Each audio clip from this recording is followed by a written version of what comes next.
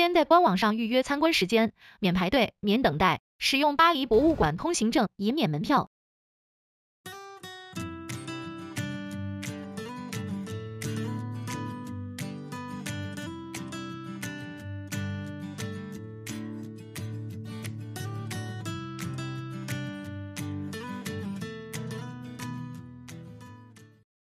接着搭乘快铁前往下一个景点圣徒礼拜堂。古监狱跟巴黎圣母院都在塞纳河的西堤岛上。圣徒礼拜堂参观的人潮比较多，建议要线上预约参观时间，持博物馆通行证免门票。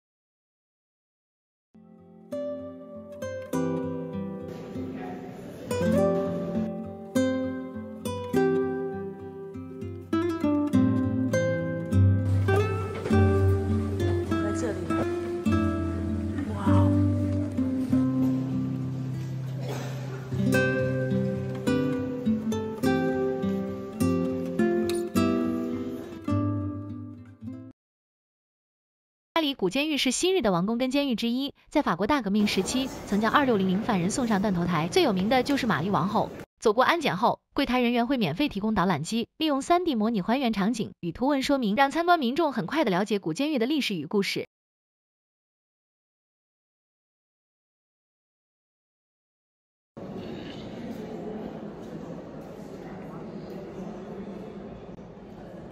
圣母院于二零一九年四月十五日发生大火，至今仍在进行修复，尚未开放参观。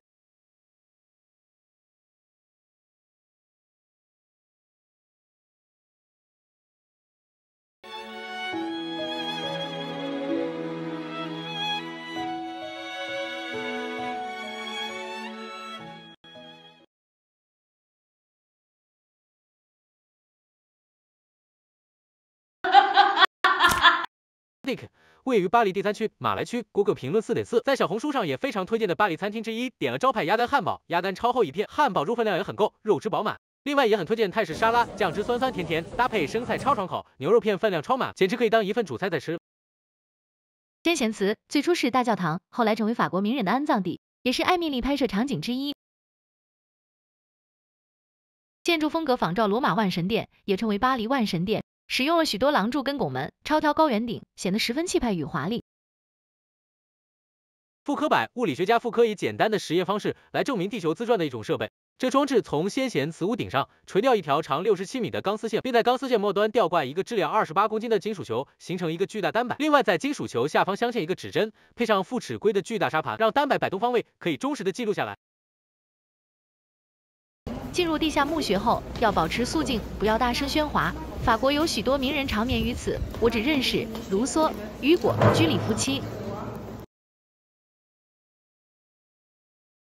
是艾米丽的家，然后转过来，这是法比利的餐厅，再转过来，被那台车挡住。那拍这是片也真艾米丽方便常买面包店，就这样。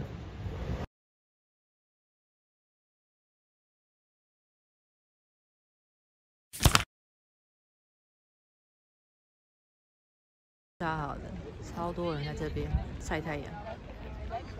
这边是卢芬尔堡公园，也是艾米丽的场景之一。爽吗？哦，晒太阳啊，还不错啊。他们太阳不会太刺，要享受巴黎人的感觉，晒太阳。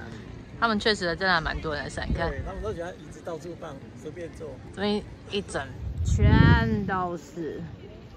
哦，他们都不怕晒黑，真好。像花一样的冰淇淋。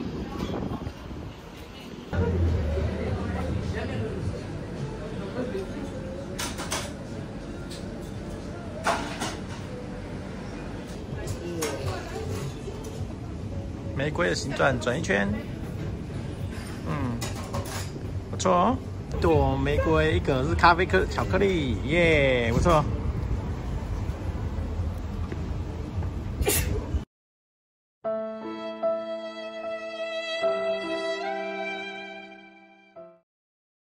路坎图一家平价法式餐酒馆，距离老佛爷百货二百五十米，走路四分钟。从 Google Map 上预约用餐时间超方便。是出门好久了，出来都十二点，每天都这么起就起跳。粗糙。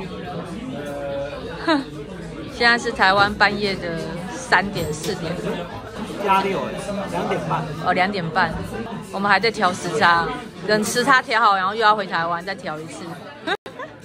点餐方式有三种，前菜、主食加甜点是二十九欧，单点主菜十七点五欧。如果是前菜、主食、甜点三选二的话，就是二十三点五欧。口味还算不错，炖牛肉有点可惜，煮到有点柴，分量很够，薯条当配餐，加附赠的法棍，包准饱到天灵盖。